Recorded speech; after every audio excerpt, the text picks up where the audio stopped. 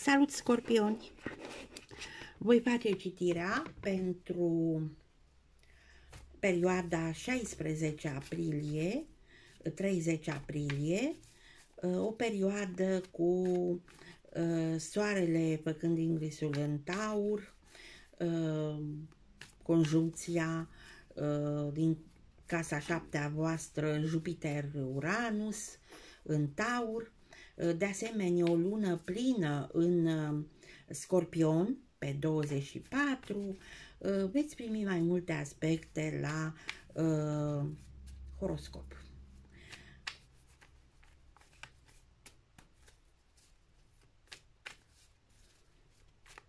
Deci perioada 16-30 aprilie uh, pentru scorpioni.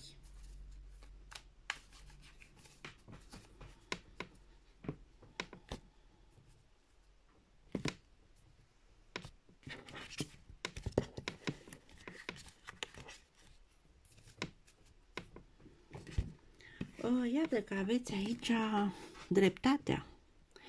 Uh, gândiți că trebuie să vi se facă dreptate uh, și să primiți ceea ce trebuie să primiți din partea divinității sau poate vreți să chemați în judecată dușmanii voștri, dușmani care v-au creat probleme, v-au creat blocaje, dar întotdeauna trebuie să știți că dacă îi chemați în judecată, trebuie să aveți uh, sub control forța lor de reacție, dar și uh, legile după care se judecă și, bineînțeles, să nu uitați de uh, divinitate. S-ar părea că veți lua o șansă, este o șansă legată de o mare preoteasă deci șansa nebunul prezintă șansa pe care și-o ia omul pentru a ieși din stagnare, pentru a merge spre progres, dar voi această șansă s-ar părea că ajungeți în relații cu o mare preoteasă, care este o femeie uh, care își folosește intuiția, uh, care știe să-și folosească cunoașterea și trebuie să fiți foarte atenți cu această femeie, să nu vă puneți uh, uh,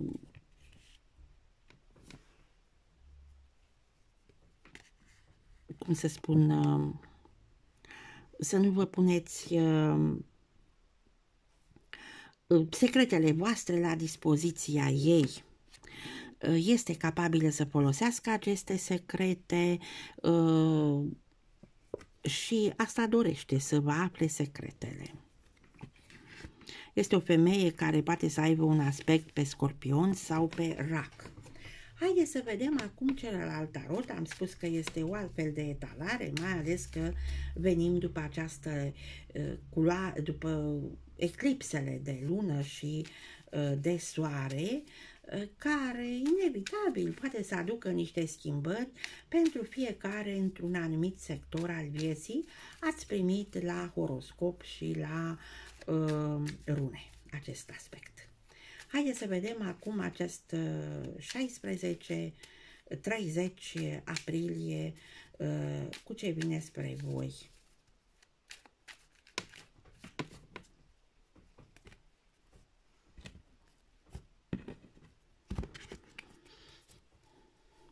Și iată, o așteptare. Voi așteptați de mult să se întâmple ceva, să vină ceva spre voi, să se rezolve ceva, dar acest ceva vine cu o ceartă. Veți avea de reproșat niște lucruri, dar și voi veți primi reproșuri din partea celuilalt. Deci este clar o ceartă, o ceartă pe care puteți să o aveți cu o femeie, cu ascendent zodie lună plină în berbec.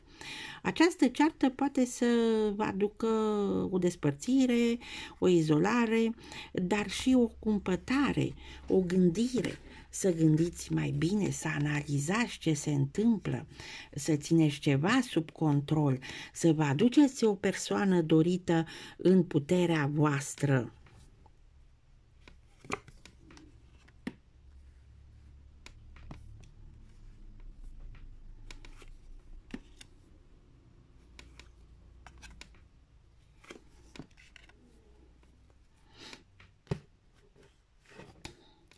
Și în primul rând vom lua ce veți face voi în această perioadă și din punct de vedere al resurselor, dar și karmic și uh, aveți un 8 de spade. Fie că primiți o veste din partea unei regine de spade, o balanță, o femeie cu ascendent zodie, lună plină în balanță, sau fie că voi trimiteți o veste acestei persoane și așteptați să vedeți cum reacționează, ce va face. Uh, îi va crea un blocaj această veste pe care o va primi? Uh, o regină de spade care poate să-și folosească foarte bine mentalul, ideile, ea pe asta se bazează, pe comunicare, pe relații, uh, dar și este o femeie destul de exigentă care oricând poate să vă țină la distanță. Deci uh, este ceea ce voi s-ar părea că veți face sau, așa cum am spus, pentru unii s-ar putea să primiți voi această veste din partea unei regine de spade. O veste care să vă blocheze, să vă solicite să vă folosiți mentalul, ideile, gândirea. Uh, și iată că legat de contracte, de asocieri, de locul vostru de muncă, de ceea ce faceți voi, uh, s-ar putea să vă doriți să comunicați cu cineva, să transmiteți cuiva Uh, este un opt de bâte, este o comunicare rapidă. Puteți să comunicați foarte repede cu o persoană și această comunicare a voastră, Mercur în săgetător, este cu un uh, bărbat tânăr cu ascendent zodie în pești. Este un bărbat care călătorește foarte mult, cheltuie foarte mulți bani, pare să fie un fel de curtezan, fiindcă lui îi place să cheltuie banii pentru a-și crea o atmosferă atmosferă plăcută în jurul lui. Este dorința lui să aibă această atmosferă plăcută. Și vom vedea uh, menirea voastră, ce aveți de făcut voi. Uh, voi aveți de cumpătarea. Uh, vă dați seama că sunteți în fața unei trădări. Cineva v-a trădat și uh, vă doriți în final uh, să analizați foarte bine, să cunoașteți, să echilibrați energiile, fiindcă orice trădare acumulează o serie de energii.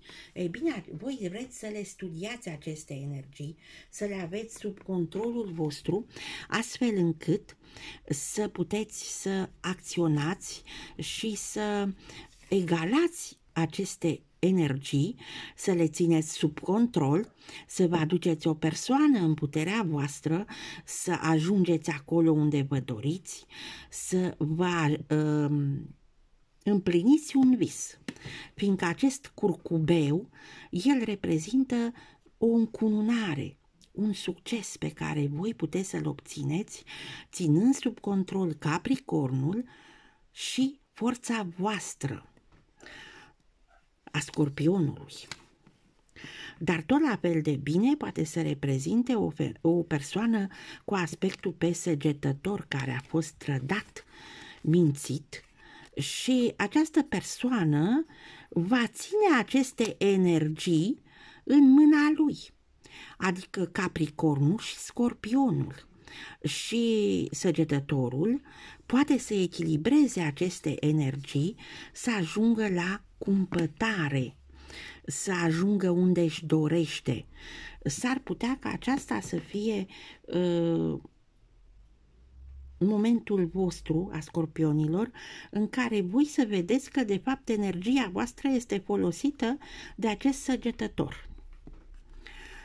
Vom vedea mai departe, din familie, cămin sau din trecut, o relație trecută care a fost uh, viciată, a avut anumite vicii, a, va crea niște probleme. Vorbim de un diavol, vorbim de un bărbat cu ascendent zodie în Capricorn care a ținut forța lui Saturn și a lui Marte Acțiunile lui au fost astfel orientate încât să vă aducă blocaje și s-ar putea să primiți o informație, o veste uh, legată de acest uh, uh, diavol, unde să vă dați seama că într-adevăr vă blochează și nu găsiți o soluție. Dar dacă vă eliberați mintea din acest blocaj aparent, veți găsi o soluție. Uh, și sfatul arcanei este uh, feriți-vă de vicii, feriți-vă de acest capricorn. Și uh, viitorul pentru voi deci aici poate să reprezinte atât comunicarea voastră cu o persoană din trecut, discuțiile voastre, dar poate să fie și cineva din familie, din cămin, din trecutul vostru. Un nou de bâte, nou de bâte arată blocaje. Nou de bâte, nou de bâte. Deci, în viitor, totul va fi blocat. Vorbim de lună însăgetător foarte greu veți debloca această situație, foarte greu veți ieși la liman din această situație, dar uh, aceste blocaje pe care le aveți, uh, mare atenție uh, că este suficient să vă ascundeți scopurile și veți reuși să deblocați această situație. Aceasta a fost citirea pentru voi. Vă doresc numai bine, vă mulțumesc pentru timpul acordat și dacă vă regăsiți în aceste citiri, puteți să dați un like, să ajutați canalul să se dezvolte, să vă abonați, să transmiteți mai departe, nu vă costă nimic și vă mulțumesc!